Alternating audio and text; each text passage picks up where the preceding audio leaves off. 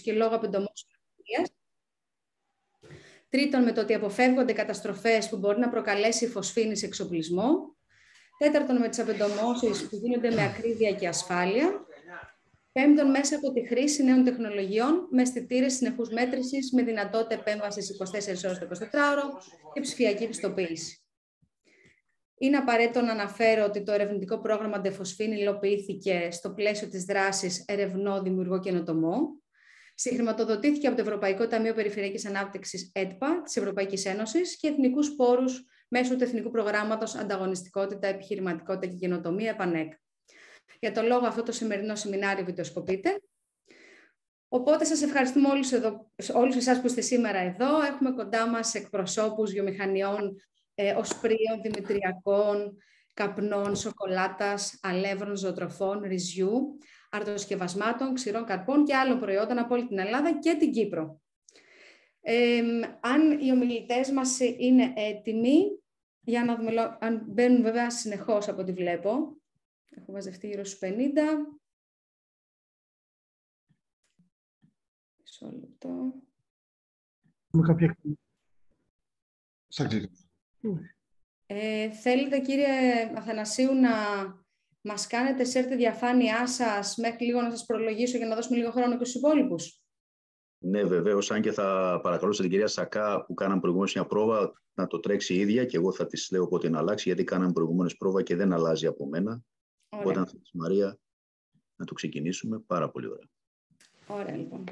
Ο Δόκτωρ Χρήστος Αθανασίου είναι καθηγητής εντομολογίας στο Πανεπιστήμιο της Θεσσαλίας από το 2010. Για τρία χρόνια εργάστηκε στο USDA, καθώς και σε διάφορα ερευνητικά κέντρα και πανεπιστήμια στην Ευρώπη και στην Αμερική.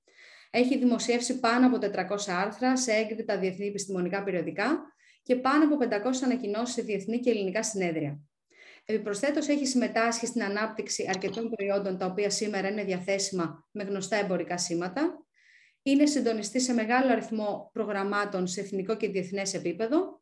Και τέλος, έχει λάβει διάφορα βραβεία και υποτροφίε από γνωστούς οργανισμούς. Οπότε, κύριε Θανασίου, έχετε 15 λεπτά και 3 λεπτά πριν την ολοκλήρωση της παρουσίασής σας, θα σας υπενθυμίσω το χρόνο. Οι συμμετέχοντες μπορείτε να σημειώνετε τις ερωτήσεις σας για να τις στείλετε είτε κατά τη διάρκεια του σεμιναρίου στο info.papakiagrospecom.gr για να τις διαβάσουμε στο τέλος, ή να τις θέσετε προφορικά κατά το τελευταίο τέταρτο για να τις απαντήσουν οι ομιλητές μας. Δεν χρειάζεται να ανοίξετε την κάμερά σας αν κάποιοι δεν θέλετε. Μπορείτε απλά να ανοίξετε το μικρόφωνο σας όταν έρθει η ώρα. Οπότε, κύριε Θανασίου, ο λόγος εσάς.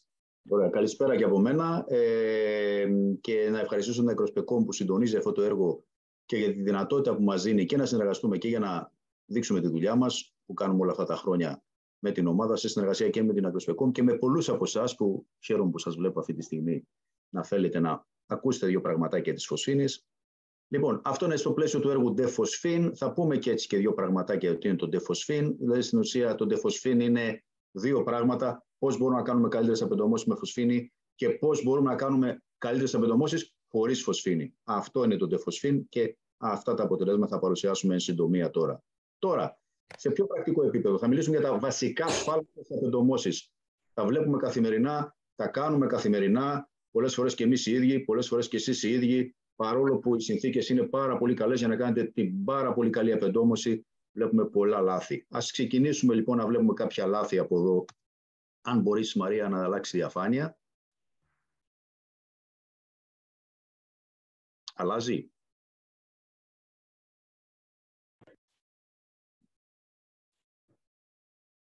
Εδώ το ματιάσαμε λίγο. Μαρία, αλλάζει διαφάνεια.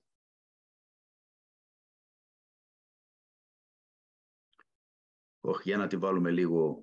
δεν αλλάζει διαφάνεια. Να ξαναπροσπαθήσω μία φορά. Να κάνω εγώ, όσο ξαναπροσπαθείς, κάτσε να προσπαθήσω εγώ. Συγγνώμη, απολογούμαστε για, το... για όλα αυτά εδώ. Ε, δεν ξέρω αν βλέπετε τώρα τις διαφάνειες μου να αλλάζουν, ε; όχι έτσι. Όχι. Όχι. Οπότε Μαρία ξανακάντω θα εσύ. Θα ξαναπροσπαθήσω εγώ. Θα κάνω stop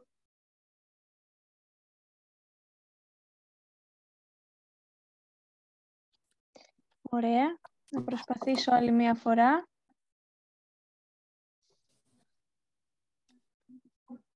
Ωραία, για κάνε λίγο αλλάζει. Για κάποιο λόγο δεν αλλάζει. Ωραία, δεν πειράζει. Βάλτο σε... Ωραία, μπορώ να το κάνω εγώ σε Ωραία. Είμαι και εγώ εδώ. Οκ. Εντάξει. Οπότε ανοίγω το δικό μου. Ε, δεν μπορεί να δουλέψει αυτό.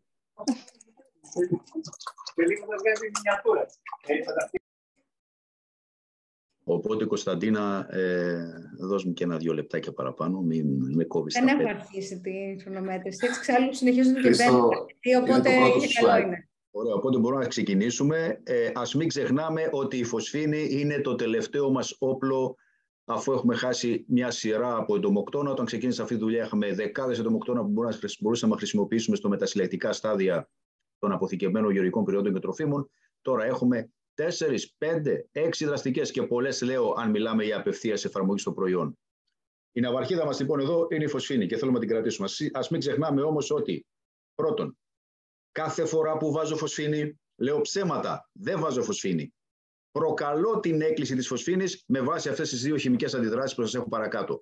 Δηλαδή τι βάζουμε, βάζουμε φωσφορούχο αργύλιο και φωσφορούχο μαγνήσιο, δεν βάζουμε φωσφίνη. Βάζουμε αυτά τα δύο ελπίζοντας με το νερό, ποιο νερό θα μου πείτε, που υπάρχει στον αέρα, να βγάλω φωσφίνη, αυτό το pH3, αυτό δηλαδή το ε, φόσφορο υδρογόνο 3. Έτσι. Άρα είναι άγνωστο το πόσο φωσφίνη θα παράξουμε και είναι άγνωστο το πόσο θα μείνει αυτή η φωσφίνη και πού θα πάει αυτή η φωσφίνη. Και το δεύτερο και το πιο σημαντικό είναι ότι αυτό γίνεται όταν χρησιμοποιούμε φωσφίνη σε στερεά μορφή. Αυτές τις ταμπλέτες που βλέπετε εδώ, τις κάψουλες ή τα plates ή πάρα πολλά άλλα. Λοιπόν, πάμε παρακάτω. Αλλάζει Βασίλη, μπράβο. Τι μάθαμε τώρα; Εμείς μάθαμε ότι υπάρχουν κάποιες βέλτιστες πρακτικές, κάποιες ορθές πρακτικές στη χρήση της φωσφίνης. Η ορθή χρήση σχετίζεται και με την ανθεκτικότητα. Η κυρία Σακά θα σας πει αρκετά πράγματα για την ανθεκτικότητα ευθύς αμέσως, αλλά σχετίζεται και με τις συγκεντρώσεις. Δεν μετράμε, δεν μετράμε, δεν απεντομώνουμε και με τα μικρά χρονικά διαστήματα έκθεσης. Ας αφήσουμε από το μυαλό μας τη μία μισή μέρα φωσφίνη, τις δύο μέρες φωσφίνη, τις δυο μισή μέρες φωσφίνη. Την κακή στεγανοποίηση που αυτή τη στιγμή αυτό είναι η γάγκρα να επιτρέψουμε την έκφραση των κακών απεντομώσεων φωσφίνη. Είναι εμείς στεγανοποιημένοι χώροι. Αέριο είναι, τι θα κάνει, άμα δεν είναι στεγανοποιημένο θα φύγει. Και βεβαίως όταν δεν παρακολουθούμε, που δεν παρακολουθούμε, δεν απεντομώνουμε. Πάμε στο επόμενο. Αν δεν μετράμε λοιπόν, είναι σαν να μην απεντομώνουμε. Είναι σαν να, μην, να παίρνεις χάπι για το πυρετό χωρίς να τον έχεις μετρήσει. Να παίρνεις χάπι για την πίεση χωρίς να την έχεις μετρήσει. Να παίρνεις χάπι για το θηροειδή χωρίς να τον έχεις μετρήσει. Αυτό είναι και η φωσφίνη. Πάρα πολλές εταιρείες λένε ήρθε το συνεργείο απ' έξω, η χύψη εταιρεία και μου έκανε φωσφίνη και ψοφήσανε ή δεν ψοφήσανε. Και όταν τους ρωτάω εγώ, τι συγκέντρωση πιάσανε, μου λένε δεν ξέρω. Άρα η φωσφίνη πρέπει να μετρηθεί. Μέχρι στιγμής η φωσφίνη μπορεί να μετρηθεί και από έξω και από μέσα. Αυτή τη στιγμή υπάρχουν αισθητήρε που μετράνε από μέσα, υπάρχουν όμως και οι κλασικές μέθοδοι που βγάζει ένα σωληνάκι και μετράς απ' έξω. Το απ' έξω έχει το εξής πρόβλημα. Ότι αν βάλεις ένα σωληνάκι μέσα στο κοντέινερ, όπως κάνει αυτός ο κύριος εδώ κάτω δεξιά, που έχει βάλει ένα σωληνάκι το οποίο καταλήγει κάπου και τραβάει αέρα με σκοπό να μεταχρωματιστεί μια μπούλα ή να γράψει τέλος πάντων ένα μηχάνημα πόσα ppm, τι συγκέντρωση φωσίνη έχει, έχουμε τα εξής δύο μειονεκτήματα εδώ. Πρώτον, ξέρεις τη φωσφίνη, πόση φωσφίνη έχεις, αλλά πού, στο σημείο εκείνο που είναι το σωληνάκι. Και δεύτερον, ξέρεις τη φωσφίνη πότε; Το δευτερόλεπτο που τράβηξες αέρα από μέσα. Άρα στην ουσία δεν ξέρεις τίποτα, γιατί ξέρεις μόνο για ένα δευτερόλεπτο, μόνο για ένα σημείο. Και γι' αυτό το λόγο πάμε παρακάτω, Βασίλη. Δεν τρέχει.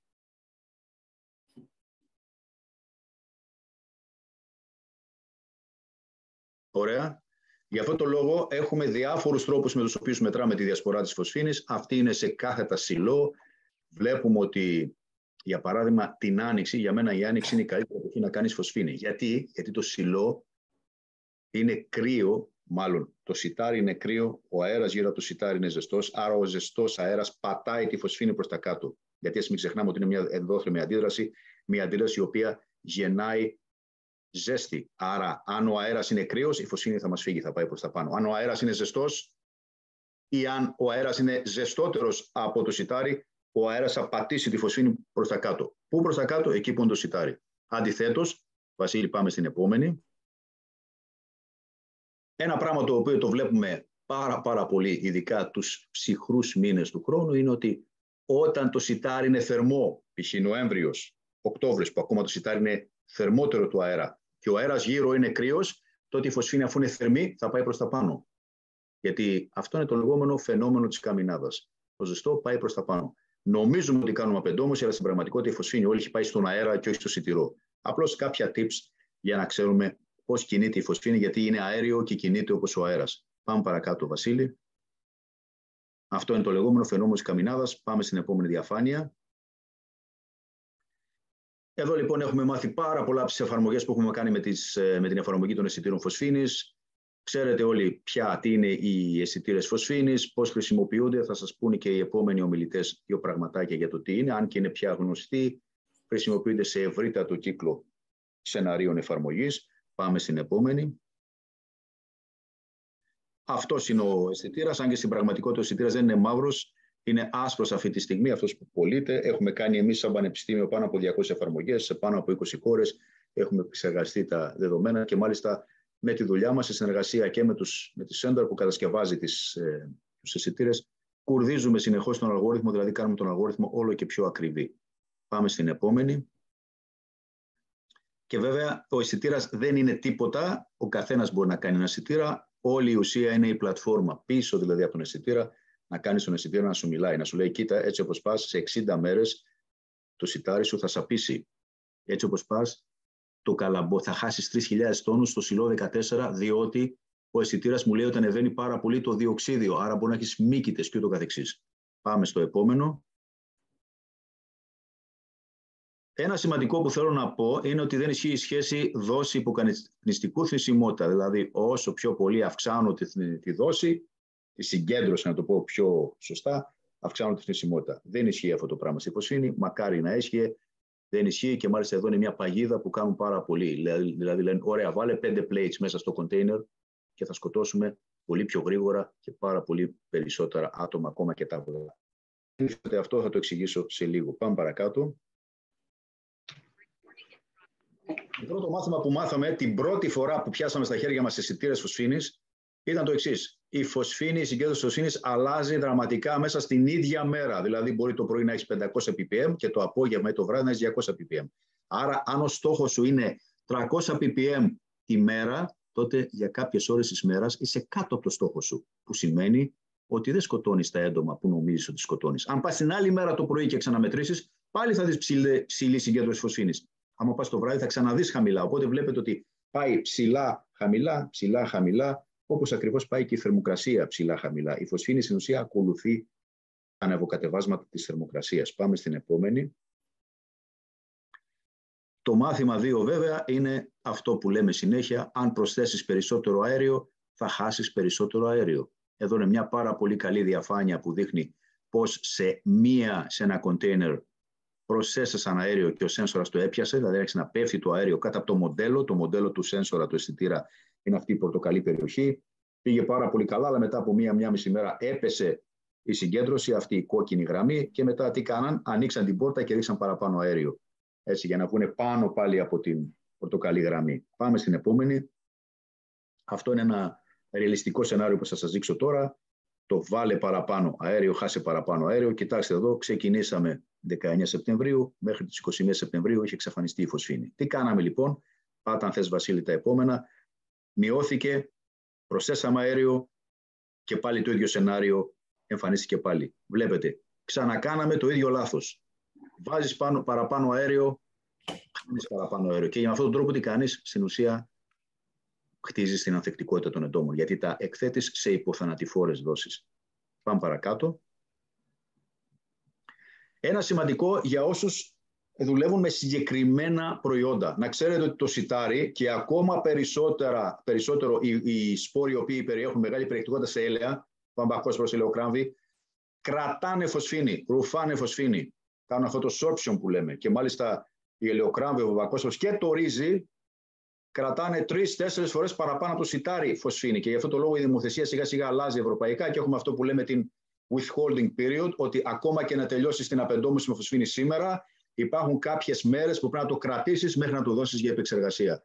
Θυμηθείτε ότι το προϊόν κρατάει κάποια από τη φωσφίνη, ένα κομματάκι της φωσφίνης που έχουμε ρίξει και το δίνει με disoption, το δίνει σιγά σιγά σε αρκετές μέρες. Πάμε παρακάτω, που σημαίνει βέβαια ότι πρέπει να τροποποιούμε και τις δόσεις εκεί. Άρα, αυξάνουμε, οι, οι είναι καλύτερες όταν η θερμοκρασία είναι υψηλότερη. Το ξέρετε οι περισσότεροι όσοι ασχολείστε με φωσφίνη, δεν πρέπει να πηγαίνουμε να χρησιμοποιούμε φωσφίνη όταν έχουμε χαμηλές θερμοκρασίες. Υπάρχουν τρόποι που μπορείς να αυξήσεις τη θερμοκρασία ε, ή τέλος πάντων ε, πηγαίνοντας σε μέρες που προβλέπεται ότι είναι αυξημένη θερμοκρασία μπορούμε να κάνουμε πολύ, καλύτερα, πολύ καλύτερες απεντομώσεις. Πάμε παρακάτω. Εδώ είναι άλλο ένα παράδειγμα σε ένα κοντέινερ. Το έχουμε κάνει πάρα πολλές φορές αυτό το λάθος. Το βλέπουμε μπροστά στα μάτια μας συνεχώς. Εδώ είναι ένα κοντέινερ που έχουμε βάλει τρία plates φωσφίνης. Ε, λοιπόν, τα διαγράμματα κάτω είναι πόσο ο άξονας των Χ λέει πόσα ppm φωσφίνης έβγαλαν αυτά τα plates όταν έχουμε ένα plate μες στο container, δύο plates μες στο container, τέσσερα plates μες στο container, έξι plates μες στο container. Βλέπετε ότι από το ένα στο δύο κερδίζω πάρα πολλά. Δηλαδή κερδίζω πάρα πολύ μεγάλη συγκέντρωση. Από τα δύο και πάνω δεν κερδίζω τίποτα. Άρα δεν σημαίνει ότι αν βάλω πάρα πολύ φωσφίνη μέσα σε ένα περιορισμένο χώρο θα εκλειθεί αυτή η φωσφίνη. Σε έσα ένα μεγάλο ποσοστό δεν θα εκλειθεί. Άρα είναι ακόμα πιο επικίνδυνη και η απομάκρυση των plates. Γιατί δεν εκλείεται, ακριβώς γιατί δεν έχει αρκετή υγρασία, δεν έχει αρκετό νερό ο αέρας για να ξεκινήσει την αντίδραση για όλα αυτά τα plates. Βάζουμε πάρα πολλά και όπως λέμε πρακτικά η φωσφίνη παραμένει άλιωτη στα χέρια μας, άλιωτη μέσα στο κοντέινερ. Πάμε παρακάτω. Αυτό είναι ένα διάγραμμα που δείχνει πώς πηγαίνει, δεν θα επιμείνω εδώ, πάμε στο επόμενο. Αυτό είναι ένα διάγραμμα πώς πηγαίνει η φωσφίνη, η έκκληση φωσφίνης ανάλογα με τη θερμοκρασία και την υγρασία. Γενικά, ο κανόνας είναι όσο πιο μικρός ο χώρος, τόσο και για τα καλύτερα τα ποσοστά θνησιμότητα. Γενικά, οι συγκεντρώσεις είναι καλύτερες σε κοντέινερς από τι αποθήκες δημητριακών ή σε σιλό. Εννοείται, είναι αυτονόητο αυτό. Πάμε παρακάτω. Και βέβαια, η φωσφίνη δεν είναι το μόνο μας όπλο, είναι σοβαρό όπλο, ίσως το κύριο όπλο αυτή τη στιγμή, αλλά έχουμε και άλλα όπλα. Α μην το ξεχνάμε, υπάρχουν υγρά εντομοκτώνα, εξαιρετικά υγρά εντομοκτώνα, υπάρχουν μη χημικές μέθοδοι, υπάρχει το άζωτο, υπάρχουν πάρα, πάρα πολλά πράγματα. Υπάρχει ο αρισμό στο σιλό, που και εδώ γίνονται πάρα πολλά λάθη.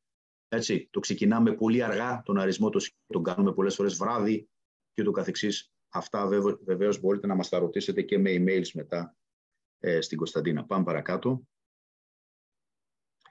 Άρα λοιπόν έχουμε, εγώ τα λέω και στους φοιτητές μου, έχουμε τρία πράγματα, τον καλό, τον κακό και τον άσχημο, δηλαδή παρακολούθηση είναι ο καλός, όσο έχουμε καλό καλή παρακολούθηση μπορούμε να προλάβουμε τον κακό και τον άσχημο, δηλαδή την ανθεκτικότητα, γιατί αν δεν ψοφάνε τα έντομα και έχω κάνει εγώ ό,τι πρέπει να κάνω με συγκέντρωση, ε, sealing, ε, στεγανοποίηση και καλό χρόνο έκθεση και ζουν τότε τα έντομα, τότε έχω ανθεκτικότητα. Και βέβαια ακόμα και στην ανθεκτικότητα, να ξέρετε ότι αν εκθέτω για πολύ μικρό διάστημα, π.χ. δύο μέρες, μια μισή μέρα, σε πάρα πολύ ψηλή συγκέντρωση, εκεί θα γίνει το λεγόμενο sweet spot που λέμε διεθνώς, μια πολύ σημαντική δουλειά που βγαίνει τα τελευταία χρόνια για το switch spot, το γλυκό σημείο, που δείχνει ότι η ανθεκτικότητα χτίζεται όχι από παρατεταμένες εκθέσεις, αλλά από σύντομες εκθέσεις σε πολύ μεγάλες συγκεντρώσεις. Δηλαδή, αν έχω μια έκθεση για 7 μέρες σε 300 ppm, δεν θα, δεν θα χτίσω ανθεκτικότητα εκεί.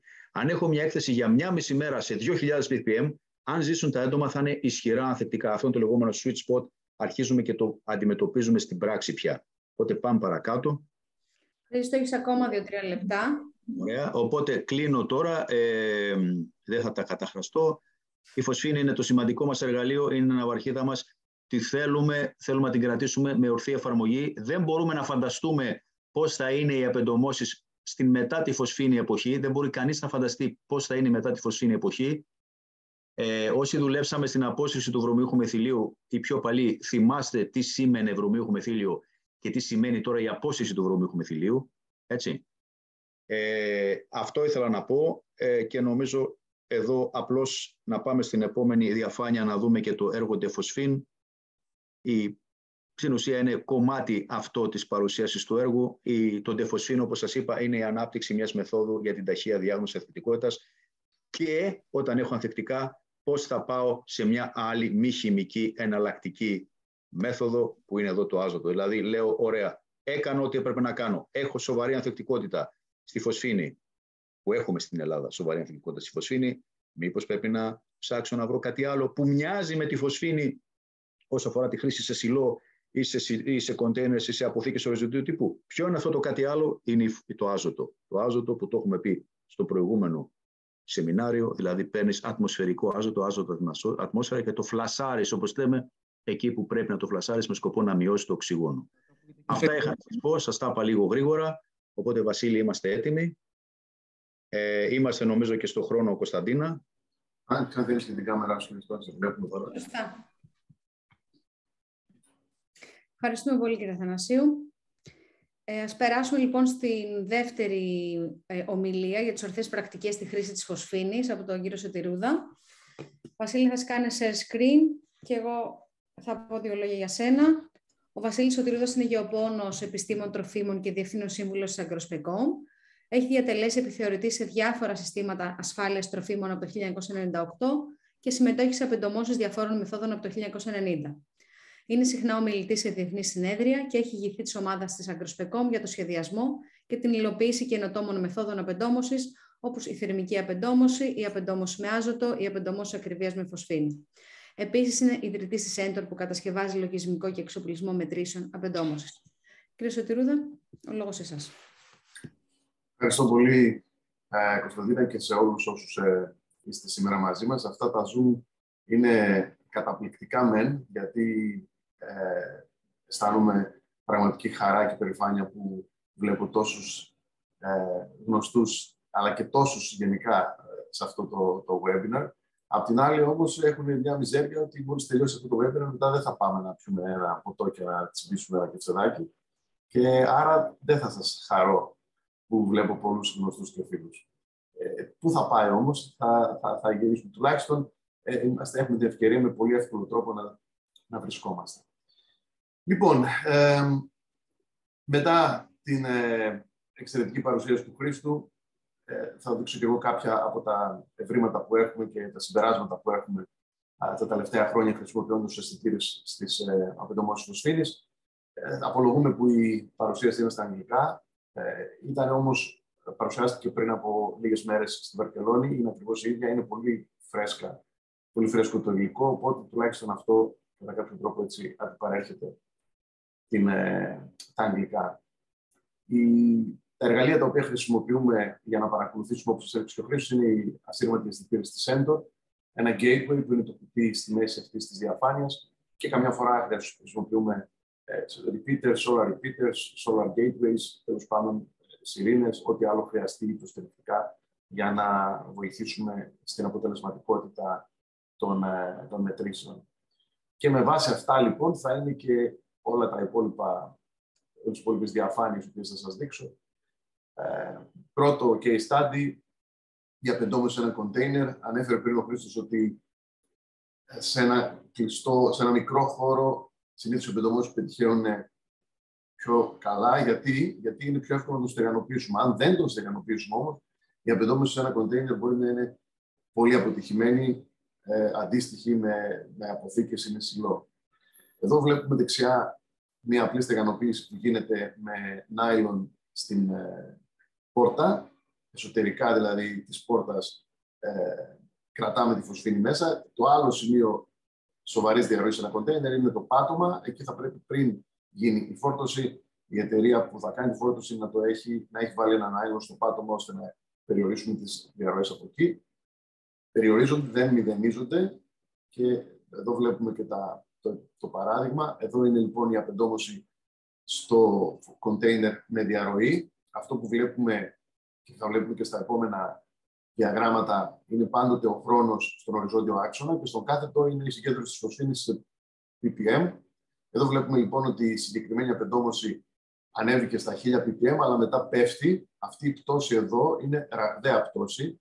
Είμαστε περίπου από τα 950 στα 300 και αυτό το χρονικό διάστημα, να σκεφτείτε ότι όλο αυτό είναι μία μέρα, αυτό το χρονικό διάστημα είναι λίγες ώρες. Δηλαδή έχουμε μία πτώση α, 600 ppm σε λίγες ώρες. Το 500 ppm τη μέρα θεωρείται ραγδαία, ραγδαία. Αυτό είναι ακόμα χειρότερο λοιπόν, που βλέπουμε εδώ.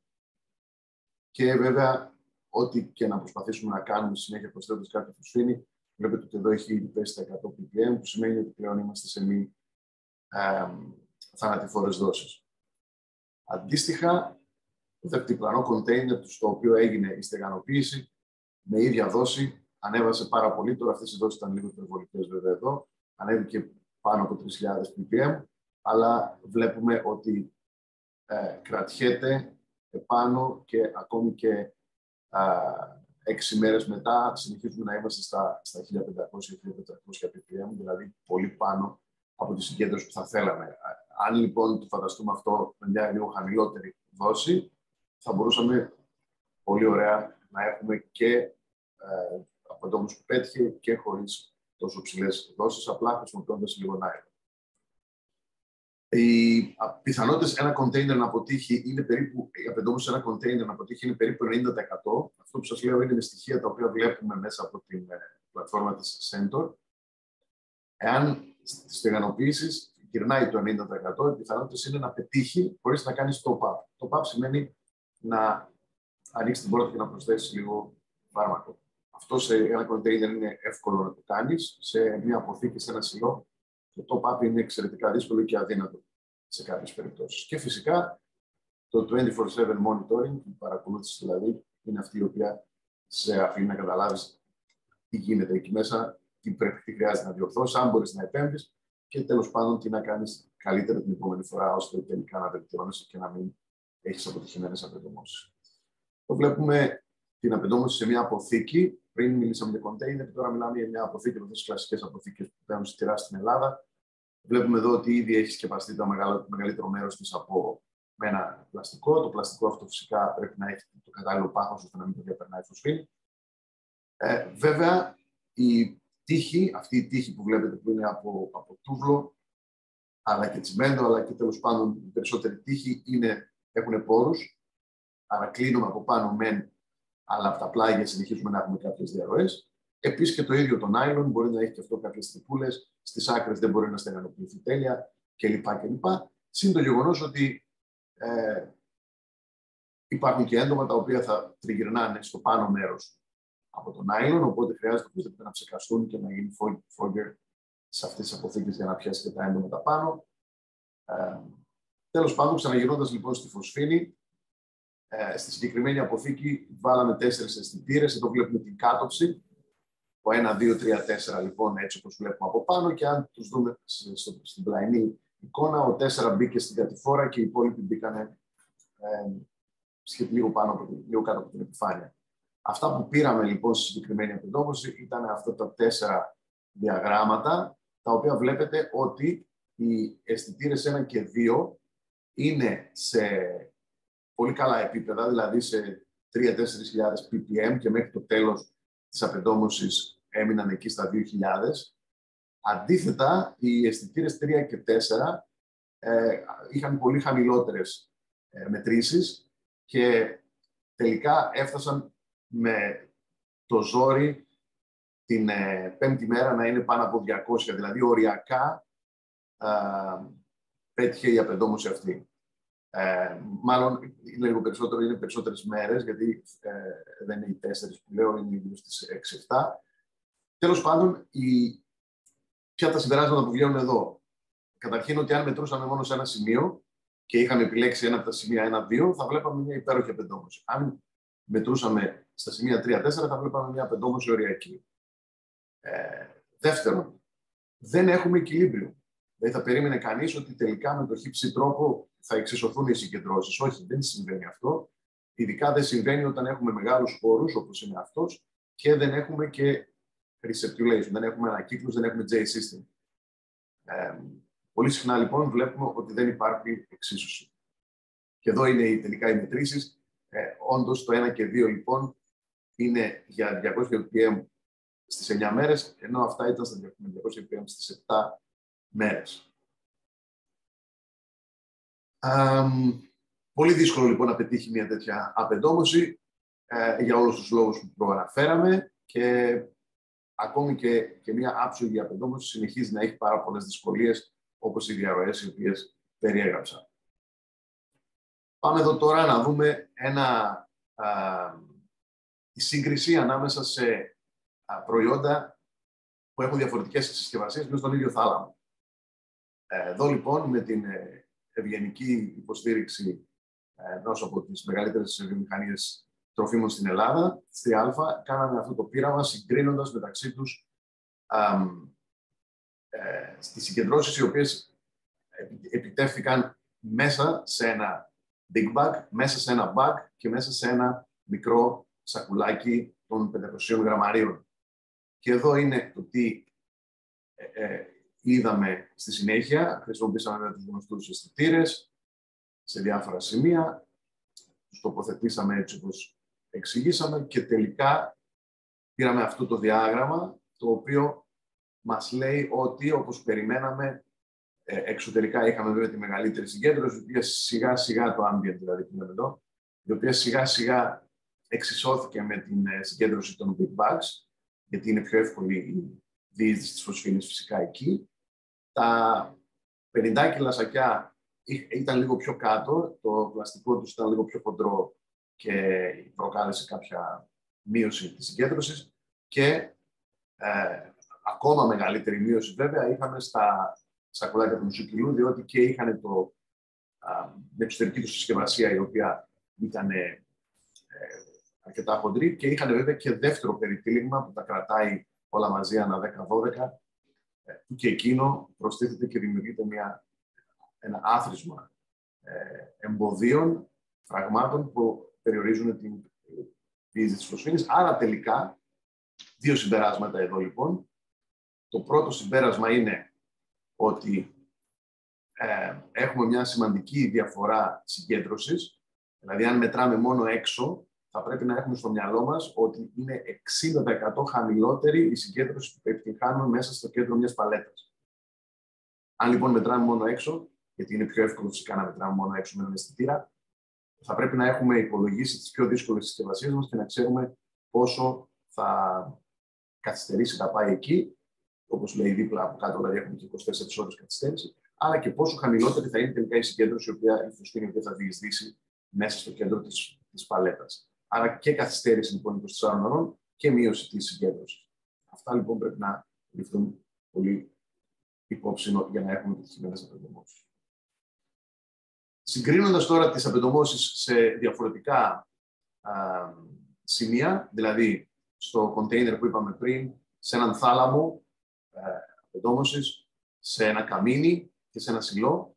Μπορούμε να δούμε αυτά τα τέσσερα διαφορετικά διαγράμματα, ξεκινώντας από το container και από την απεντόμωση που συζητήσαμε πριν, με την μη στεγανοποιημένο container, δηλαδή μια κακή απεντόμωση με πολύ απότομη πτώση. Εδώ βλέπουμε τι γίνεται μέσα, τι μπορεί να γίνει μέσα σε ένα καμίνι. Ε, αυτό βέβαια περιγράφει κάτι που παρουσίασε και ο Χρήστος και εδώ είναι πιο εύγλωτη η διαφορά. Είναι η αυξομοίωση της φωσφίνη μέρα-νύχτα.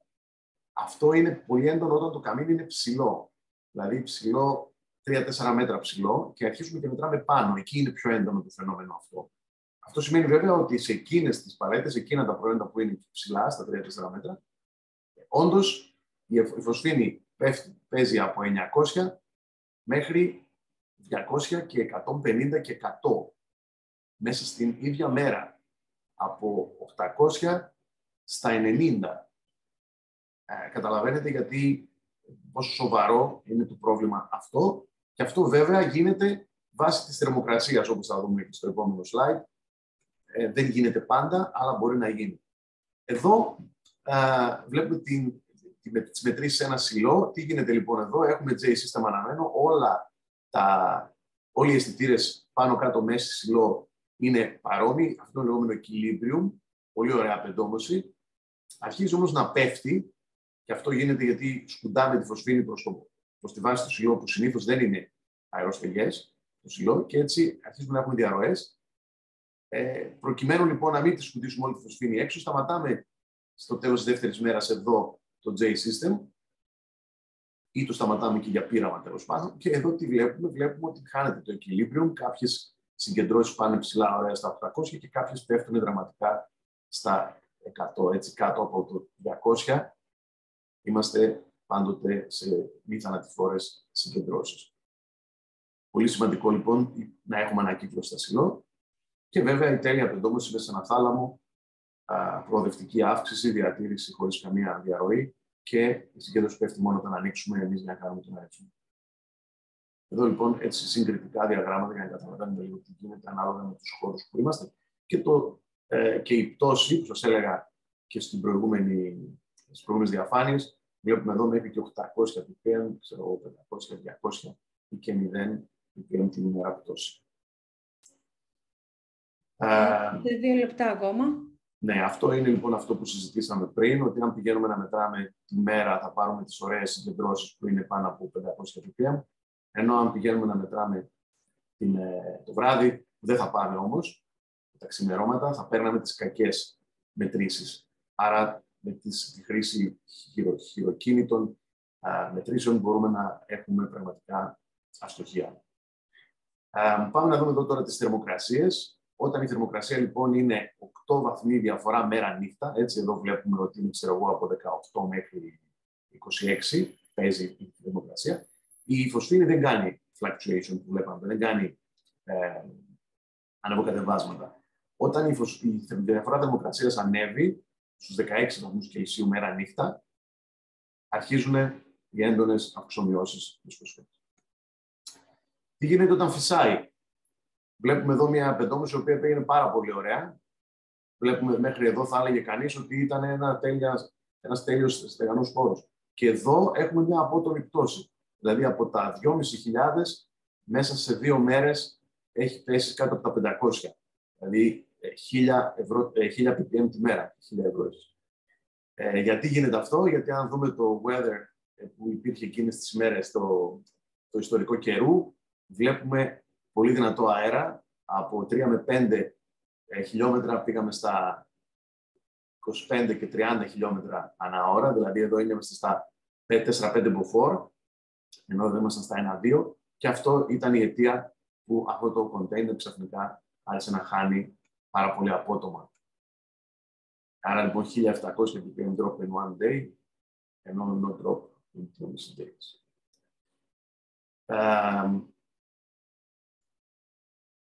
εδώ έχουμε δύο top-up, αυτό το έδειξε και ο Χρήστος.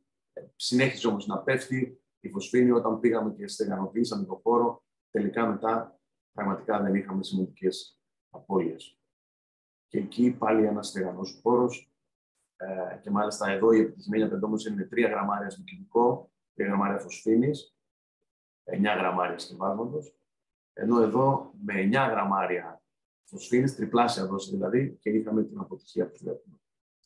Και η τελευταία διαφάνεια είναι, ε, έχει να κάνει με, με το ελληνικό label. Αυτή τη στιγμή υπάρχει η ετικέτα μιας από τις ουσίες που κυκλοφορούν στην Ελλάδα, η οποία μιλάει για αυτή τη δόση και διάρκεια 60 ωρών. Η, δόση 33 γραμμάρια ανά 6 κυβικά είναι πάρα πάρα πάρα πολύ υψηλή δόση. Αντιστοιχεί στο να βάλουμε 11 plates σε ένα container. και είναι η επίσημη προτινόμενη δόση της τελευταίας ανανέωσης αυτής της ετικέτας. Ε, πραγματικά πολύ προσοχή. Λέμε ότι ναι, ακολουθούν τις ετικέτες. Αν πάμε και βάλουμε αυτή τη δόση σε ένα χώρο που έχει υγρασία και άρα επιτρέψει στο να εκλειθεί όλη η φωσφίνη, θα πιάσουμε 16.000 ppm. Στα 19 η φωσφίνη κάνει έκρηξη. Πολύ προσοχή και είναι και το επίσημο, το οποίο δεν μιλάει καν για θερμοκρασία. Άλλο φάουλ αυτό. Μιλάει για 60 ώρες, δηλαδή 2,5 μέρες και για μια τεράστια δόση. Αντίκειται το επίσημο χαρτί σε όλα αυτά που είπαμε πριν.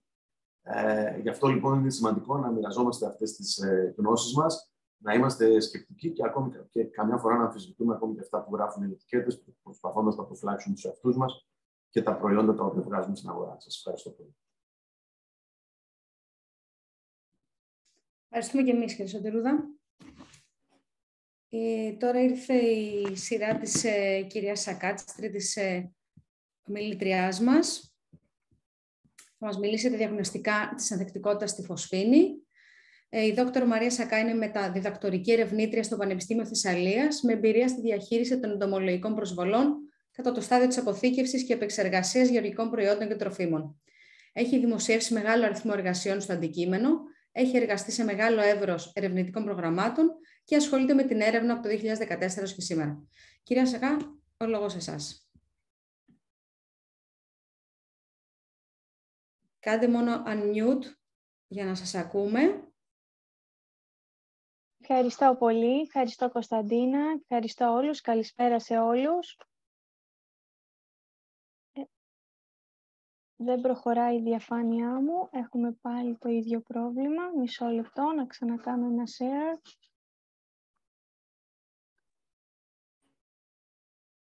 Είμαι backup, έτσι Θα προσπαθήσω άλλη μια φορά.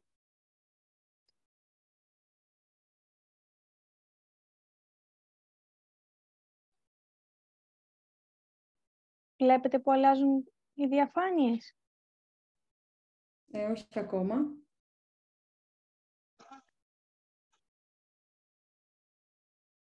Βλέπετε; Όχι ακόμα. Όχι. Να ξανακάνω πάλι. Ας το κάνουμε με backup με το Βασίλη καλύτερα για να... Βασίλη, το έχεις έτσι; Ναι, ναι. Αν θέλεις Μαρία, μπορώ να κάνω share. Ναι, ναι, ας το κάνουμε backup έτσι. Τώρα; Τώρα αλλάζει, τώρα αλλάζει. Ναι. Αλλάζει. Πολύ ωραία. Μας φοβήθηκε και το... Μπράβο. Εγώ θα σας μιλήσω για τα διαγνωστικά ανθεκτικότητα στη φωσφίνη. Αρχικά να πούμε για τη σημασία της φωσφίνης. Αυτή τη στιγμή δεν υπάρχει κάποιο άλλο εντομοκτόνο που να μπορεί να την αντικαταστήσει. Είναι το κυρίαρχο εντομοκτόνο στην αγορά. Χρησιμοποιείται σε διάφορους χώρους απεντόμωσης, όπως σιλό, αποθήκες, κοντέινερ, για διάφορα προϊόντα, όπως τυρά, αποξηραμένα φρούτα και δεν αφήνει υπολείμματα στο προϊόν. Όμως, έχουμε την ανθεκτικότητα στη φωσφίνη. Για να τη διαχειριστούμε την ανθεκτικότητα, πρέπει αρχικά να γνωρίζουμε τους τρόπους ανείχνευσης και αξιολόγησής της, ώστε να μπορέσουμε στη συνέχεια να την αντιμετωπίσουμε. Για να ανοιχνεύσουμε τη φωσφίνη, έχουμε είτε τις μοριακές τεχνικές, με τη βοήθεια της PCR και τις γνωστές μεταλλαγές που σχετίζονται με την ανθεκτικότητα στην φωσφίνη, είτε φαινοτυπικά, με τα διάφορα kit ανθεκτικότητας, όπως το kit της Debbie Adegges, το Phosphine Tolerance Test, το οποίο σε λιγότερο από 15 λεπτά μπορεί να μας πει αν ο πληθυσμός μας είναι ευαίσθητος ή ανθεκτικός στη φωσφίνη. Μπορεί να χρησιμοποιηθεί από τον οποιοδήποτε, δεν χρειάζεται εξειδικευμένο προσωπικό. Και έχουμε και κάποια άλλα πρωτόκολλα, τα οποία είναι πιο εργαστηριακά, όπως το πρωτόκολλο του ΦΑΟ, που μιλάμε για 30 ppm έκθεσης των εντόμων για 20 ώρες, το dose response, με διάφορες δόσεις για συγκεκριμένο χρόνο έκθεσης, για παράδειγμα τρεις μέρες, και άλλα τροποποιημένα πρωτόκολλα από διάφορους ερευνητές παγκοσμίως, όπως του, τον Αγιά και Τόλ, που μιλάει για 6 ώρες έκθεσης των εντόμων για το είδος κρυπτολέστες φερουτζίνιους. Όσον αφορά τις μοριακές τεχνικές, υπάρχει ένα γονίδιο, το DLD γονίδιο, στο οποίο υπάρχουν οι μεταλλαγές που σχετίζονται με την ανθεκτικότητα στη φωσφίνη. Το Εργαστήριο Εντομολογίας του Πανεπιστημίου Θεσσαλίας σε συνεργασία με το Ίδρυμα Τεχνολογίας και Έρευνας, το ΙΤΕ, με υπεύθυνο τον καθηγητή Γιάννη Βόντα, έχουμε ανοιχνεύσει ε, τις μεταλλαγές σε διάφορους πληθυσμούς ευρωπαϊκούς και μη για το είδος Tribolium castaneum, για παράδειγμα, τη μεταλλαγή P45S και για τη ριζοπέρθα ντομίνικα τη μεταλλαγή P49S. Στόχος μας είναι να δημιουργήσουμε ένα kit στο οποίο μέσα σε λίγα λεπτά μπορεί να μας λέει αν ο πληθυσμός μας είναι ε, ανθεκτικός ή ευαίσθητος στη φωσφίνη. Τώρα θα σας δείξω τα πρωτόκολλα ανθεκτικότητας που χρησιμοποιήσαμε για να αξιολογήσουμε πάρα πολλά είδη εντόμων αποθηκών. Έχουμε τέσσερα διαφορετικά πρωτόκολλα. Το πρωτόκολλο του ΦΑΟ, μιλάμε για 30 ppm έκθεσης των εντόμων για 20 ώρες. Το dose response ή αλλιώς το πρωτόκολλο της σειράς συγκεντρώσεων με έκθεση των εντόμων σε διάφορες δόσεις για τρεις ημέρες το κοίτας ανθεκτικότητας Phosphine Tolerance Test και το πρωτόκολλο Κορέστα, το οποίο κυρίως χρησιμοποιείται για την καπνοβιομηχανία, για την αντιμετώπιση σημαντικών εντόμων ε, του καπνού, όπως το κολεόπτερο Lasiodderma sericorne ή το λεπιδόπτερο Εφέστια ε, ελουτέλα, που βασίζεται σε έκθεση των εντόμων στα 200 ppm για 4 ημέρες και αν υπάρχουν ζωντανά έντομα, έκθεση των εντόμων στα 700 ppm για 10 ημέρες. Εν συντομία θα σας πω τι μεθοδολογία που ακολουθήσαμε. Χρησιμοποιήθηκαν φιαλίδια με 20 ακμαία, τα οποία τοποθετήθηκαν σε γυάλινα βάζα και τα εκθέσαμε για το πρωτόκολλο του ΦΑΟ στα 30 ppm για 20 ώρες. Οι συγκεντρώσεις φωσφίνης προσδιορίστηκαν με αέριο, αέριο χρωματογράφο που διαθέτει το εργαστήριό μας και μετά από 20 ώρες καταγράψαμε τη συμπεριφορά των εντόμων ως ζωντανά, ακινητοποιημένα και νεκρά. Ζωντανά είναι τα έντομα τα οποία αντιδρούσαν, ε, τα οποία συμπεριφέρονταν κανονικά, όπως οι μάρτυρές μας, δηλαδή τα έντομα που δεν εκτέθηκαν στην φωσφίνη. Τα ακινητοποιημένα είναι αυτά που λίγο δεν ήταν ακριβώς ζωντανά, αλλά ούτε και νεκρά, ήταν ημιθανοί, σαν μπορούμε να πούμε λίγο μεθυσμένα, δηλαδή λίγο δεν περπατούσαν καλά, λίγο κουνιότανε η κεραία της ή το πόδι τους. Και καταγράψαμε και τη συμπεριφορά αυτών των εντόμων 7 μέρες αργότερα, τοποθετήσαμε σε, σε τριβλία και τα αξιολογήσαμε 7 μέρες μετά. Θα σας δείξω κάποια αποτελέσματα από το πρωτόκολλο του ΦΑΟ. Εδώ βλέπουμε για το είδος τριμπόλιουμ καστάνεου την άμεση επίδραση μετά από 20 ώρες έκθεσης και την καθυστερημένη επίδραση μετά από 7 μέρες. Όπως βλέπουμε, αξιολογήσαμε περίπου πάνω από 15 πληθυσμούς και μόνο οι τέσσερις είχαν 100% ζωντανά ακμαία μετά από 20 ώρες, οι οποίοι πληθυσμοί διατήρησαν ε, την επιβίωσή τους και μετά από 7 μέρες. Για το σιτόφιλου όριζε, οι περισσότεροι πληθυσμοί βλέπουμε ότι δεν είχαν επιβίωση ε, στο πρωτόκολλο του ΦΑΟ και μετά από 7 μέρες μόνο ένας πληθυσμός παρουσίασε 100% ζωντανά ακμαία. Η μεθοδολογία για το dose response πρωτόκολλο είναι ακριβώς η ίδια, με τη διαφορά μόνο ότι εκθέσαμε τα έντομα για 50, 100, 200, 500, 700 και 1000 ppm για τρεις ημέρες.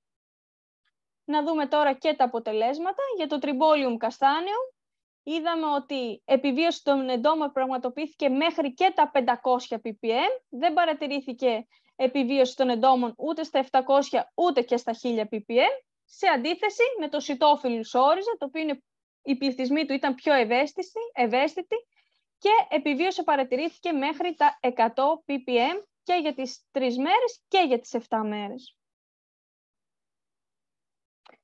Για το κορέστα, ακριβώς η ίδια μεθοδολογία, με τη διαφορά ότι τα έντομα εκτέθηκαν στα 200 ppm για 4 ημέρες και μόνο αν υπήρχαν ζωντανά ακμαία, εκθέσαμε τον πληθυσμό στα 700 ppm για 10 ημέρες να δούμε και τα αποτελέσματα.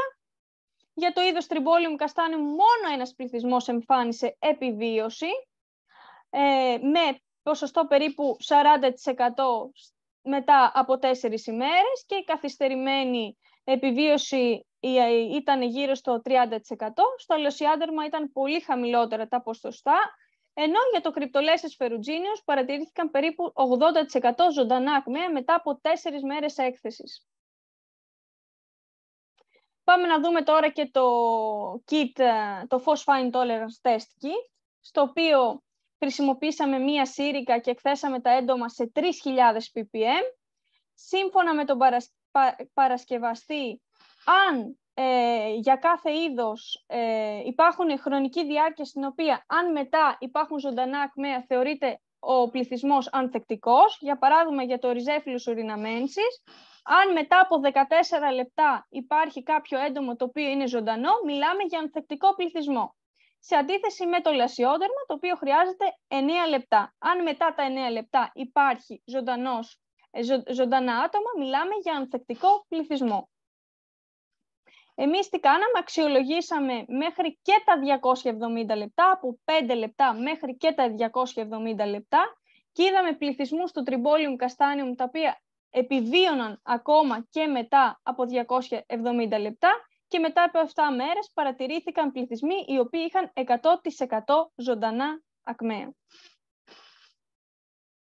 Για το σιτόφιλου όριζε, εδώ βρέθηκαν αρκετοί πληθυσμοί μέχρι και με 100% ζωντανά ακμαία μετά από 270 λεπτά έκθεση σε 3.000 ppm, ενώ μετά από 7 μέρες στην καθυστερημένη επίδραση μόνο ένας πληθυσμός εμφάνισε πολύ υψηλό ποσοστό επιβίωσης.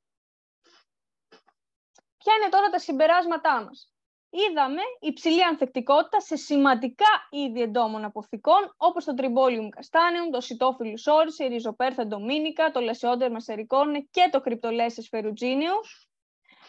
Είδαμε ότι το kit της δέντη αντέγγις μπορεί να διαχωρίσει τους ανθεκτικούς από τους ευαίσθητους πληθυσμούς, οπότε δεν υπάρχει λόγος να περιμένουμε στο εργαστήριο 20 ώρες για να κάνουμε το πρωτόκολλο του ΦΑΟ, ενώ μέσα σε λιγότερο από 15 λεπτά μπορούμε να ξέρουμε αν ο πληθυσμός μας είναι ευαίσθητος ή ανθεκτικός. Και όσον αφορά την καθυστερημένη καταγραφή, αυτό που παρατηρήσαμε είναι ότι τα ευαίσθητα άτομα όταν είναι ναρκωμένα τίνουν περισσότερο προς τη θνησιμότητα, ενώ τα ανθεκτικά άτομα τίνουν περισσότερο προς την ανάνυψη. Σας ευχαριστώ πάρα πολύ. Ευχαριστούμε και εμείς Μαρία και όλους τους ομιλητές για όλα αυτά τα ενδιαφέροντα που μας ανέφεραν. Η αλήθεια είναι ότι η χρήση της φωσφίνης είναι ένα θέμα που απασχολεί την παγκόσμια αγορά και τέτοια ευρήματα μόνο μπροστά μπορούν να μας πάνε. Οπότε ας προχωρήσουμε λίγο σε ερωτήσεις των συμμετεχόντων. Μέχρι να διαβάσω τις ερωτήσεις που μας έχουν έρθει με email, να πω στους συμμετέχοντες ότι θα δείτε κάτω δεξιά στην οθόνη σας, στην μπάρα, ένα ανθρωπάκι με ένα συν που λέει reactions. Πατώντας το, θα δείτε μετά ένα άλλο πλήκτρο που λέει raise hand. Αν αυτό το πατήσετε, θα μπορέσει το Zoom να σας φέρει στην αρχή της οθόνης, άρα να δούμε ότι έχετε μια ερώτηση. Ε, και μπορείτε να την θέσετε, δεν χρειάζεται να ανοίξετε την κάμερά σας, μπορείτε απλά να ανοίξετε μετά το μικρόφωνο σας και να σας ακούσουμε όταν σας δώσουμε το λόγο. Οπότε πάμε στις ερωτήσεις. Ε, ποιο το νομοθετικό πλαίσιο για τη φωσφίνη σε containers που βρίσκονται σε προάβλιο χώρο;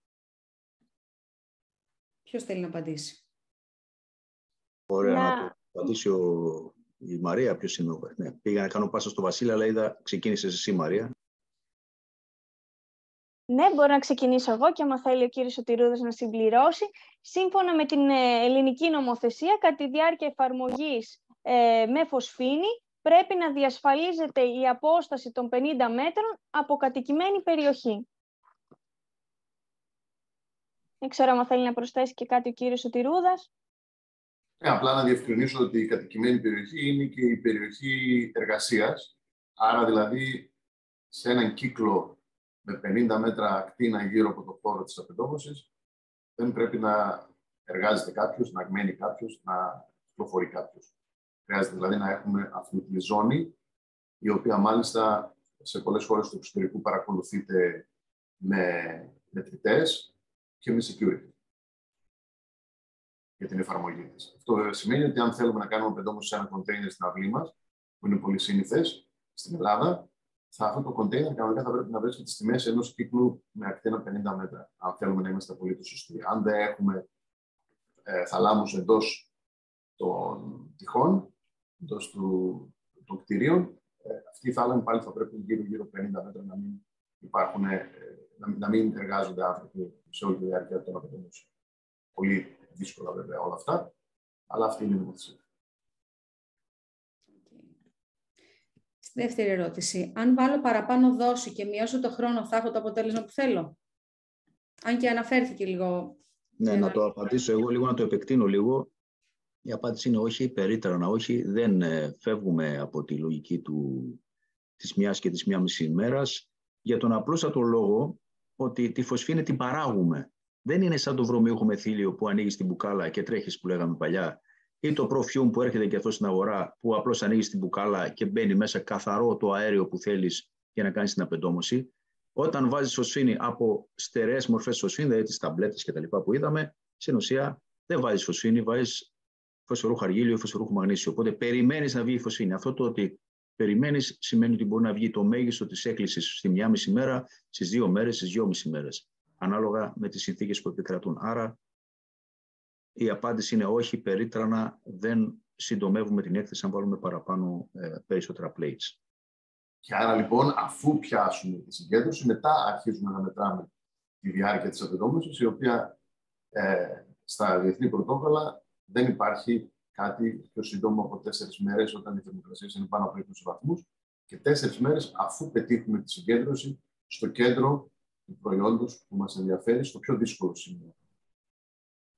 Και να, να προσθέσω σε αυτό που είπε ο Βασίλης, Ωραία, μπορούμε να πούμε τέσσερις μέρες. Τι τέσσερις μέρες, από τη στιγμή που θα πιάσω εγώ τη μέγιστη έκκληση. Δηλαδή, πρέπει να προσθέτουμε και τις μέρες που κάνει η αντίδραση να βγάλει τη μέγιστη έκκληση. Όπως ακριβώς κάνουμε για το άζωτο. Λέμε, ωραία, έχει φτιάξει η κυρία Σακά εδώ πάρα πολύ σύντομα πρωτόκολλα χρήσης αζότου. Ναι, αλλά από τη στιγμή που πιάνεις το 1% οξυγόνο, που σημαίνει πρέπει να περιμένεις μία, δύο μέρες, τρεις μέρες πρώτα για να πιάσεις, να γεμίσεις το χώρο με άζωτο. Αντίστοιχα είναι και η φωσφίνη. Άρα λοιπόν η φωσφίνη σε λιγότερο από πέντε μέρες, για να κάνουμε και λίγο πιο πρακτικά τα πράγματα, ε, από το φωσφίνη συντομότερο των πέντε ημερών, δεν πρέπει να υπάρχει με βάση τα διεθνή πρωτόκολλα. Να πάω τότε κατευθείαν σε μια άλλη ερώτηση που σχετίζεται με αυτό, που λέει βάσει της τελευταίας αλλαγής στην ετικέτα, πώς μπορούμε τελικά να υπολογίσουμε σωστά τη δόση και τη διάρκεια; Ε, καλύφθηκε αυτή η ερώτηση από την προηγούμενη απάντηση ή θέλετε να προσθέσετε κάτι; Η, η δόση την οποία βάζουμε οδηγεί στην έκκληση του αερίου και τελικά στην μέτρηση κάποιας συγκέντρωσης. Δεν σημαίνει ότι η ίδια δόση σε οποιοδήποτε χώρο παράγει την ίδια συγκέντρωση. Εντάξει, και όταν λέμε δόση, είναι γραμμάρια ανακυβικό. Γραμμάρια στερεού προϊόντος ανακυβικό. Έτσι, αυτό είναι δόση. Οπότε, ανάλογα με το πόσο στεγανός είναι έτοιμο ο χώρος, αυτή η δόση που βάλαμε θα μας οδηγήσει σε μια χαμηλότερη ή υψηλότερη συγκέντρωση. Αυτό το οποίο, ο, ο τρόπος με τον οποίο μετριούνται τα πρωτόκολλα είναι πόσο καιρό κρατάς αυτή τη συγκέντρωση. Άρα, για να την πετύχεις, έχεις μια στεγανοποίηση τέλεια ή λιγότερο τέλεια και μετά, ανάλογα με το πόσο λιγότερο τέλεια είναι αυτή η στεγανοποίηση, αρχίζεις να τη χάνεις αυτή τη συγκέντρωση, γιατί φεύγει το αέριο έξω. Επίση, αν φυσάει, αυτό επιταχύνεται. Άρα, τελικά, ναι, με βάση ε, τη φυσική μπορείς να πεις ότι με αυτά τα γραμμάρια ένα κοινικό θα έχω αυτά τα ppm, αλλά το αν θα τα πετύχεις εξαρτάται καταρχήν από την υγρασία, αν έχεις επαρκή υγρασία, γιατί αν δεν έχεις και είναι πάρα πολύ στεγνή ημέρα, μπορεί να μην τα πετύχεις ούτε καν αυτά. Και ακόμη και αν είναι απόλυτο στεγανός ο θάλαμος. Και το αν θα τα κρατήσεις στη διάρκεια, γιατί το πρωτόκολλο πεντόμωση θέλει συγκέντρωση και διάρκεια σε θερμοκρασία. Τρία πράγματα. Συγκέντρωση, διάρκεια σε συγκεκριμένη θερμοκρασία. Και να προσθέσω και εγώ κάτι σε αυτό που νομίζω δεν το είπαμε με όσο έμφαση χρειαζόταν. Όλη η ιστορία είναι για τα αυγά. Έτσι. Α, ε, οτιδήποτε άλλο κάνουμε και δεν σκοτώνει τα αυγά έχει ονομαστεί διεθνώς cosmetic fumigation, δηλαδή διακοσμητική απεντόμωση, ίσα ίσα για να δει ο πελάτης στις ψήρες ότι δεν κινούνται, αλλά στην πραγματικότητα τα αυγά είναι το 1 τέταρτο του πληθυσμού, ίσως και παραπάνω. Δηλαδή, όταν βλέπουμε εμείς τις ψήρες να είναι σόφιες από τη φωσφίνη, να ξέρουν ότι υπάρχουν άλλα τόσα αυγά τα οποία είναι έτοιμα να σκάσουν και να βγουν από μέσα καινούριε προνύμφες. Να γιατί επανέρχεται ο πληθυσμός σε δύο, τρεις, τέσσερις εβδομάδες. Ή να γιατί στέλνουμε το προϊόν απεντομωμένο εμείς με φωσφίνη και κληρονομούμε τα έντομα από το παράπονο που θα πάρουμε από τον τελικό πελάτη, γιατί εκεί σκάσαν τα αυγά που γλιτώσαν από τη δικιά μας απεντόμωση. Ε, μπορούμε να χρησιμοποιήσουμε τη φωσφίνη μέσα στην παραγωγή εφόσον έχουμε καλά κλεισίματα; Να το πω εγώ αυτό, μια που λέω τα πολλά τα όχι σήμερα και εδώ ένα όχι επίσης, μεγάλο, πιο μεγάλο από το προηγούμενο, γιατί η φωσφίνη είναι ισχυρά διαφορετική σε, στα γνωστά μέταλλα, τα τέσσερα μέταλλα δηλαδή, μπρούτζος, χαλκός, ασίμι, χρυσός και να γιατί πολλές φορές βλέπουμε και ορισμένα τέμπλα στις εκκλησίες που να είναι έτσι τα χρυσά και τα λοιπά, να είναι λίγο σκουρόχρωμα, γιατί κάποιος κάποτε έβαλε φωσφίνη για να σκοτώσει τα σαράκια εκεί. Πάμε πίσω στη βιομηχανία τροφίμων. Λοιπόν, όχι περίτρανα, θα πάθουμε μεγάλες καταστροφές ε, στα, στα μηχανήματα, π.χ. σε μια συμμυγδαλοποιία, μπορούμε να βάλουμε στο σιλό, μπορούμε να καλύψουμε το υλικό προϊόν, να κάνουμε στις παλέτες, αλλά όχι μέσα στο ενδιάμεσο στάδιο το χώρο παραγωγής. Είναι, το βλέπουμε συχνότατα αυτό να παθαίνουν μεγάλε ζημιέ σε πανάκριβα μηχανήματα, ακριβώς επειδή βάλαν φωσφίνη και κάνουν απεντόμωση μέσα στο χώρο παραγωγής. Πόσος χρόνος χρειάζεται για σωστό ερισμό; Και υπάρχει και μια άλλη ερώτηση εδώ, πώς γίνεται σωστός ερισμός στο σιλό, μια που μιλάμε για τον ερισμό; Ναι, πάνω σε αυτό θα μπορούσαμε να πούμε καταρχήν ότι σε ένα σιλό ο αριθμό είναι πιο εύκολος γιατί υπάρχουν ανεμιστήρες στον σιλό. Οπότε τους χρησιμοποιούμε και μετράμε. Τι μετράμε, μετράμε τη συγκέντρωση στους αισθητήρες που έχουμε. Οι αισθητήρες μας δείχνουν το πάνω, αλλά μας δείχνουν και το κάτω. Ε, οι αισθητήρες αυτοί που χρησιμοποιούνται για την απαιτώμηση δεν είναι πάρα πολύ ευαίσθητοι να μας πιάσουν το 5 και το 10 τη διαφορά, δηλαδή στα πολύ χαμηλά BPM. Χρειάζεται να χρησιμοποιήσουμε τους αισθητήρες ασφάλειας, που είναι εμφανισιακά παρόμοιο προϊόν, αλλά ο αισθητήρας μέσα είναι διαφορετικός και είναι καλυμπραρισμένος στις χαμηλές ε, συγκεντρώσεις. Όμως, παρόλα αυτά, ο αισθητήρας υψηλής, αυτός δηλαδή που χρησιμοποιήσαμε για να δούμε ότι πέτυχε η επιδόμηση, θα μπορεί να μας δώσει και μια εικόνα ότι ο αερισμός μας είναι επαρκής. Σε άλλους χώρους εκτός από ψηλό, ε, υπάρχει ο αερισμός πάντοτε ο, ε, ο αερισμός με, με ανεμιστήρες, το forced aeration που λέμε στα αγγλικά, που σημαίνει ότι βάζω κατάλληλους βιομηχανικούς ανεμιστήρες, μεταφερόμενους ενδεχομένως, μπροστά να φυσάνε το προϊόν, έτσι ώστε να φύγει η φωσφίνη πιο γρήγορα. Ή ότι αφήνω έναν φυσικό αερισμό, που βέβαια εξαρτάται από το που το αφήνω. Δηλαδή, ένα κοντέινερ που απλά ανοίγω την πόρτα δεν κάνει ρεύμα, άρα είναι αργή, αργός ο αερισμός. Αντίθετα, ένα κοντέινερ, ένας θάλαμος θα μπορούσε να ανοίξει μπρο-πίσω και κάνει ρεύμα. Αυτό θα γινόταν πολύ καλύτερα για να βγάλω τα προϊόντα μέσα από το κοντέινερ και τα αφήσω πάνω εξωτερικά σε ένα εξωτερικό χώρο, που υπάρχει κάποιος αέρας, θα γίνει πιο γρήγορα η, η αυτή ή ο αερισμός, συγγνώμη. Όπως και να έχει, χρειάζεται να μετρήσω τελικά τι γίνεται. Δηλαδή, ένας αισθητήρας τοποθετημένο στο κέντρο μιας παλέτας μπορεί να μας δώσει και το χρόνο που χρειάζεται ο αερισμός. Και φυσικά να λάβουμε υπόψη κάτι που παρουσίασε ο Χρήστος σχετικά με την προσρόφηση της φωσφίνη στο προϊόν. Ότι κάθε προϊόν, λοιπόν, ανάλογα με το πόσο λάδι έχει και κάποια άλλα χαρακτηριστικά του, ε, προσροφά περισσότερο το, τη φωσφίνη. Τη δεσμεύει περισσότερο. Για να δώσουμε ένα παράδειγμα, από το σιτάρι θα φύγει η φωσφίνη σε μία εβδομάδα, ενώ από τα φιστίκια θα φύγει σε 45 μέρες. Ε, το ρύζι, αν είναι έμφυο ή αποφυωμένο, έχει επίσης περίπου τετραπλάσια διαφορά και στη φωσφίνη που χρειάζεται για την απεντόμωση και στο χρόνο που χρειάζεται για να φύγει από εκεί η φωσφίνη. Οπότε λοιπόν η απάντηση για τον αερισμό είναι ότι χρειάζονται σίγουρα κάποιες ώρες και μέρες, αλλά το πόσο εξαρτάται από το είδος του προϊόντος και από το είδος του αερισμού. Ωραία, βέβαια εδώ όσον αφορά τα σιλό δεν ξέρουμε αν ο αερισμός απευθυνόταν ως προς τη φωσφίνη ή γενικά, αλλά ας το πάρουμε για τη φωσφίνη μια που μιλάμε γι' αυτό. Ε, τι πάχος χρειάζεται να έχει το νάιλον; Το νάιλον, ε, η θεωρία λέει να είναι πάνω από 80 μικρά, η πράξη λέει ότι καλό είναι να είμαστε κοντά στα 150 για να έχουμε πραγματικά δέσμευση της ουσίας. Περιορισμός της.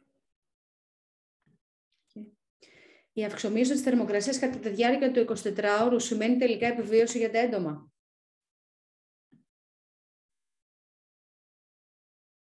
Ξεκάθαρα. Αυτό. OK. Okay.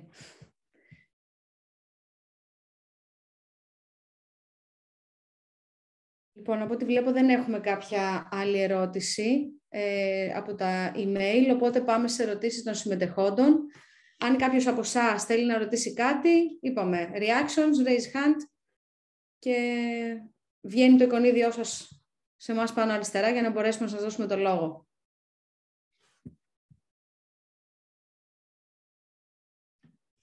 Οπότε βλέπω δεν υπάρχει κάποια ερώτηση. Α, ωραία. Κύριε Μάρα, αν θέλετε να ανοίξετε το μικρόφωνο σας. Ναι, με ακούτε; Ναι, ναι, σας ακούμε. Γεια σας. Γεια σας. Θα ήθελα να ρωτήσω σχετικά, καθότι είπαμε ότι η υγρασία είναι πολύ σημαντικός παράγοντας για τη σωστή εφαρμογή, αν ένα κλειστό αμπάρι θα ήταν ε, κατάλληλος χώρος, κλειστό αμπάρι αποθήκευσης υλικού, που αποθηκεύεται σε μεγαλύτερες υγρασίες από την ασυλό, αν θα ήταν κατάλληλος χώρος για να κάνουμε εκεί την εφαρμογή; Δεν ξέρω αν γίνεται κατανοητό το πλαίσιο στο οποίο αναφέρομαι. Ένα αμπάρι πλοιού.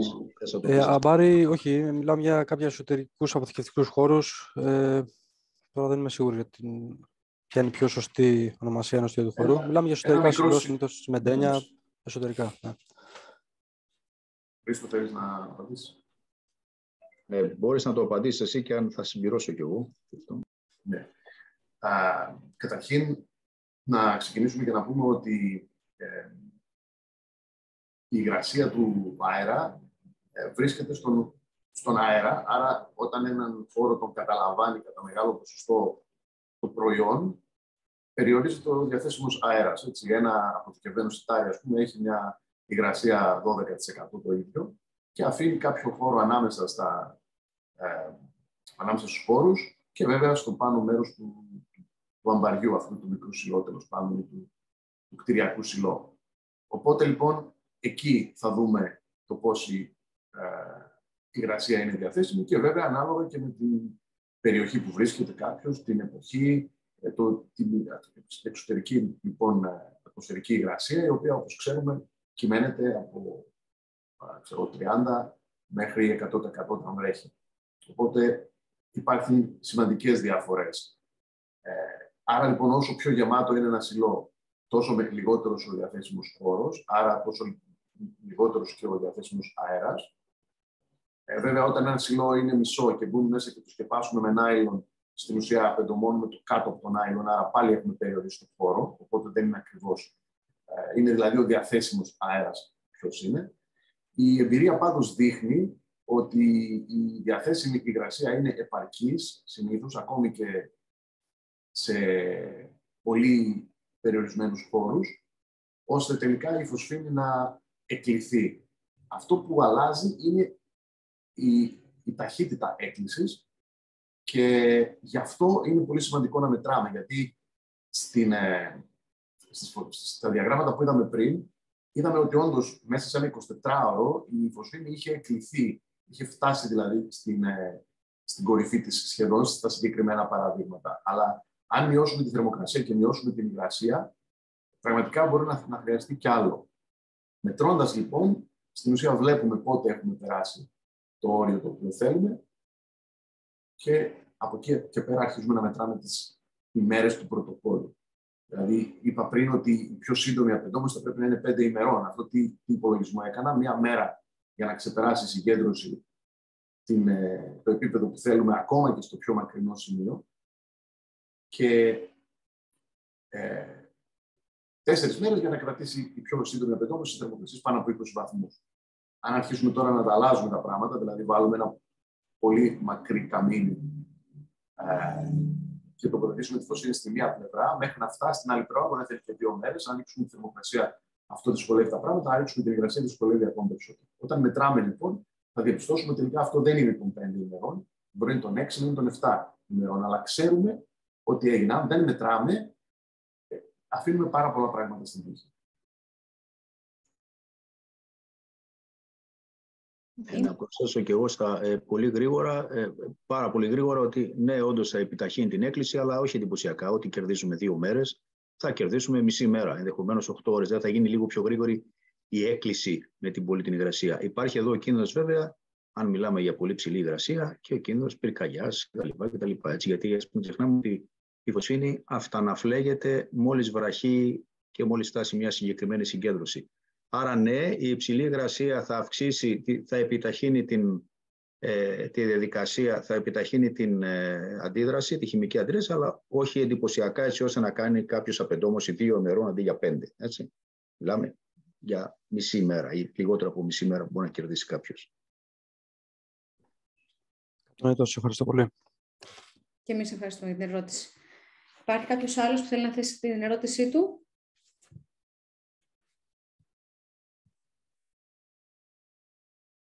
Okay.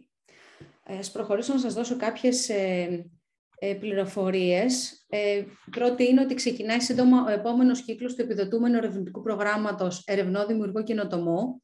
Οπότε, αν ενδιαφέρεστε να καταθέσουμε κάποιο φάκελο με συμμετοχή της δικής σας εταιρείας, επικοινωνήστε μαζί μας να σας ενημερώσουμε για τη διαδικασία και θα σας φέρουμε σε επαφή με το Πανεπιστήμιο για τα επόμενα βήματα. Και το δεύτερο είναι στο κανάλι της Αγκροσπεκόμ στο YouTube θα βρείτε άλλα δύο webinars που σχετίζονται με τη διαχείριση εντόμων το, ε, επίσης, το πρώτο webinar που κάναμε πριν λίγο καιρό από την ίδια σειρά των Defosfin που αφορά στη χρήση αζότου ως εναλλακτική μέθοδος της φωσφίνης και τις επόμενες μέρες θα ανέβει και το συγκεκριμένο webinar ε, στο YouTube, καθότι κάποιοι θέλουν να το παρακολουθήσουν και δεν μπόρεσαν να συνδεθούν σήμερα. Και γενικά όλα τα webinars τα οποία ανεβάζουμε μπορείτε να τα χρησιμοποιείτε ελεύθερα για εκπαιδευτικούς λόγους της ομάδας σας. Ε, αν θέλετε να οργανώσουμε για σας κάποια εξειδικευμένη εκπαίδευση για το προσωπικό σας, ευχαρίστω να επικοινωνήσετε μαζί μας να το συζητήσουμε και να οργανώσουμε βάσει των αναγκών σας. Οπότε σας ευχαριστούμε πάρα πολύ που ήσασταν όλοι εδώ σήμερα. Ε, η γνώση μας οδηγεί σε σοφές ε, επιλογές, οπότε είναι πολύ σημαντικό για μας να την μοιραζόμαστε μαζί σας και ευχόμαστε να συμβάλλαμε σήμερα στη βελτίωση των ε, διαδικασιών σας. Ευχαριστούμε πάρα πολύ. Καλό απόγευμα σε όλους. Καλή συνέχεια. Να είστε καλά. Γεια σας. Γεια σας.